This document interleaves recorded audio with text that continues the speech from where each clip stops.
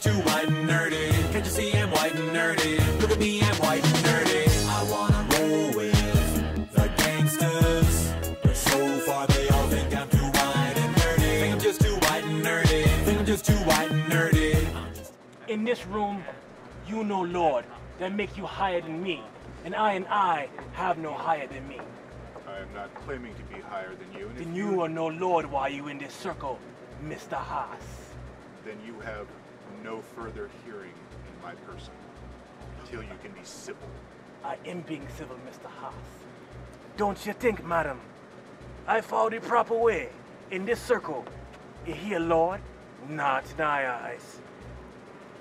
Within this circle, former titles have no bearing.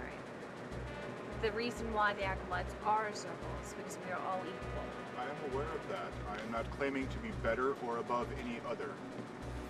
It is a title I earned in my mortal years. It is a title I earned multiple times throughout my existence. It is simple courtesy.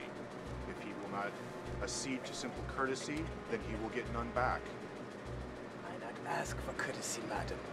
All I ask is for his state, where he stand with us.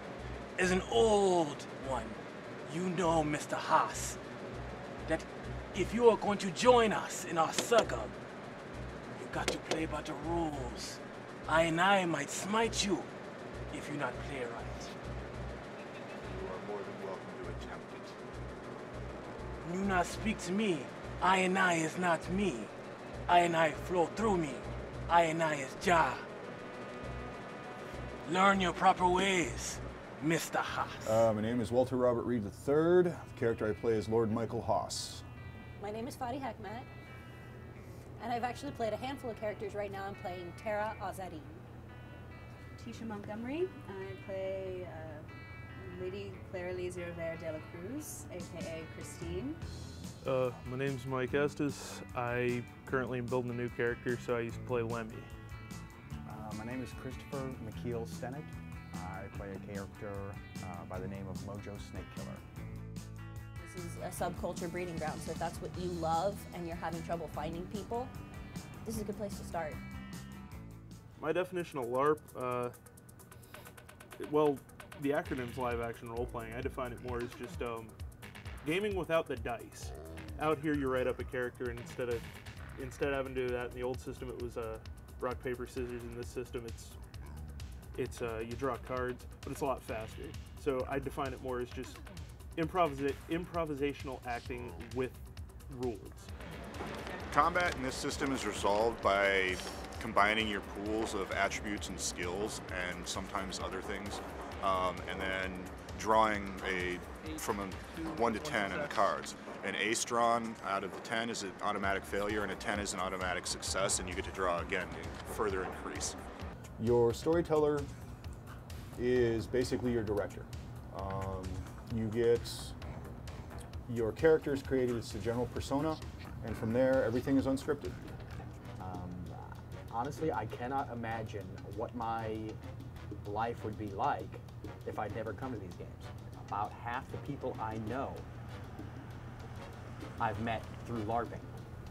I've cultivated some great friendships with LARPers. Um, it's been a difficult year, a lot of homelessness in my life, and there have been people just from Go willing to help me out, willing to take me in. And LARP attracts sort of a subculture, you know, a, a small group of, of people who have unusual interests. My goal right now is to make the master storyteller of the entire Vampire Requiem Chronicle cry. Because it'll be fun. how far we drove. He came from Sarasota. I drove from Lakeland.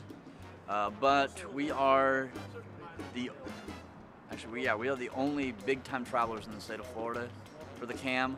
We have traveled to Gainesville, uh, Tampa, Sarasota, Port Charlotte, Fort Lauderdale, Fort Myers, and Daytona, and of course Orlando. We've also traveled to Louisville, Kentucky, and um, Atlanta, Georgia and myself have gone to Milwaukee, Wisconsin this last month for uh, our international convention.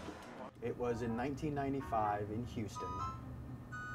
Um, part of the gaming group I'm with, they had an enormous convention. Um, hundreds, if not thousands, of people from around the world all came there to play this one game. And the gentleman who created the game system um, in front of hundreds of people singled me out for doing something right and gave me praise for something I did in character. And mind you, this is a gentleman who started a company that grosses millions and millions of dollars a year, singled me out for doing the right thing at the right time in front of hundreds and hundreds of people. It was just kind of cool to have all eyes turn on me. I guess a lot of us are nerds in the sense we don't fit in in normal society as far as, you know, you'd think the stereotypical gamer, you think like Skolnick from Revenge of the Nerds. And it's completely different from that. I mean, it takes all kinds of people, and it's really, I think it's more of an excuse to get out on a Friday night and not have to pay cover for a bar, not have to, you know, spend a lot. And you get to hang around a bunch of people you have a common interest with, and you get to, you know, socialize. And I think that's a good thing. Um, most people, when they're like, "Oh, you do LARP, you run around and pretend you're a vampire," or things like that, and they get all offended. Um, if you explain to them that it is very much like improv acting, if you take that route of explanation with them, um, that it's no different than reading a fantasy book or you know pretending that you're a knight when you're five years old running around and smacking a big bad dragon. Um, they're kind of like, oh, okay. And if they see a fake uh, aluminum sword swinging through the air, they can leave. But if they don't, and they actually enjoy the storyline, I've been to sporting events. I played football in high school. Him if he's ever been to any type of large-scale LARPing event. Usually it's a no. Again, not universal, but mostly if all they desire to do was denigrate what I enjoy, the conversation would end very quickly. I try just to talk to people. If they ask me questions, I, I don't ever say I'm, a, I'm going to play a game. I say I'm going to go to a CAM meeting. We game, but we also do community service. We do charity drives and things like that. We help in the community. We're a global network, so we know people all over the all over the world. to me, it's stepping into a fantasy world. A lot of people get tired of their everyday jobs, everyday problems, things they have to do in real life, and they just want to escape. That's what it is to me. It's a hobby and it's stress relief. Um, it's just for fun entertainment, and in the end, a lot of it has to do with the people and the friends that I've made. It's live action role play, man. It's a game. It's sometimes it's a way of life. It's a creative outlet for a lot of people. I've seen all kinds of bad things. I was in the U.S. Army. I, I got to bleed in a desert. I don't want to pretend about that. I don't want to, you know, I, I don't want, or if I'm pretending, I don't want to deal with that for real. You know, I come to these things to, for a couple hours, forget about the real world. Forget about my bills. Forget about problems with my ex-wife. Forget about the weird noise my car is making. I come here in the hopes that for a few hours I can pretend to be someone else. Someone else who has his own pressing problems that have nothing whatsoever to do with me. I generally play characters that will strive beyond anything to be the best possible person they can be. In real life, you don't always have that option.